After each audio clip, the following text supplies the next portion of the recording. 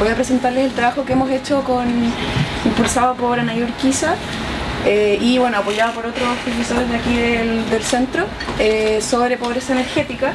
¿Por qué pobreza energética es importante para el CR2? Porque permite abordar eh, mitigación y adaptación en conjunto para contextos urbanos y también para el tema de contaminación atmosférica. bueno, la red de pobreza energética nace impulsada por el CR2 como una plataforma de colaboración a nivel nacional. Bueno, intenté sintetizar un poco. Eh, la red de pobreza energética actualmente tiene eh, más de 65 miembros de distintas universidades a lo largo de todo el país. Son alrededor de 15 disciplinas y 9 universidades eh, en donde participan profesores, investigadores independientes, estudiantes de magíster, de doctorado, bueno, representantes del Estado y también de la sociedad civil. Hemos estado construyendo este concepto eh, identificando tres elementos principales que son los que están aquí. Eh, la, pobreza energética tiene que ver con entonces el acceso a, energía suficiente para poder cubrir las, eh, las, necesidades básicas y fundamentales asociadas a los servicios energéticos que las personas, tanto que la sociedad identifica como los necesarios, así como las personas, así como los que las personas identifican desde un nivel subjetivo.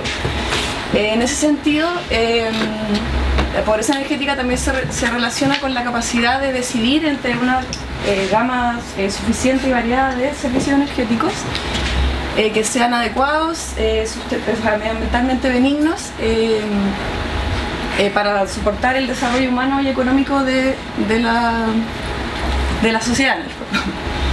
Eh, y lo importante del concepto de pobreza energética es que tiene que ser un concepto situado en un territorio, en un espacio temporal específico eh, y de acuerdo a las condiciones socioculturales del territorio donde se, se observe. Entonces es muy importante para este concepto eh, observarlo en, situado en el fondo.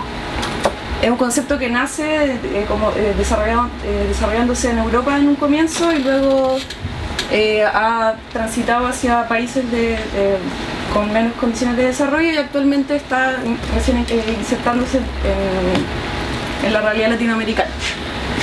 Hemos identificado como red eh, tres principales dimensiones o grandes ámbitos en los, que se, que se podría observar pobreza energética. En primer lugar, el tema de acceso, que tiene que ver con la, superación de umbrales eh, físicos, económicos y tecnológicos.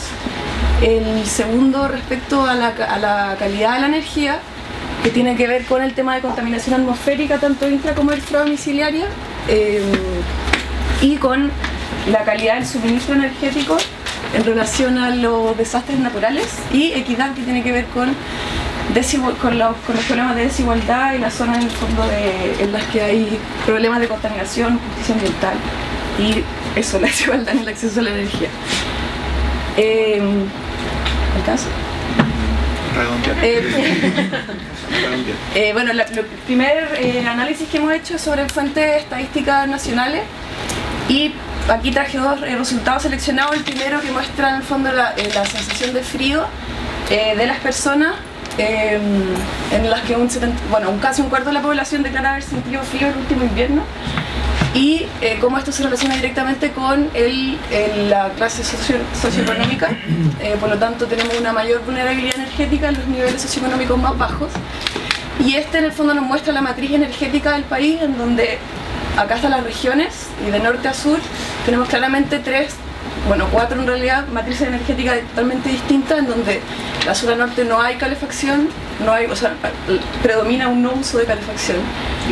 En la zona central eh, predomina el uso de la electricidad y una matriz más fuerte de electricidad, y en la zona sur un gran tema de la leña, a excepción de la región de Magallanes que es meramente gas.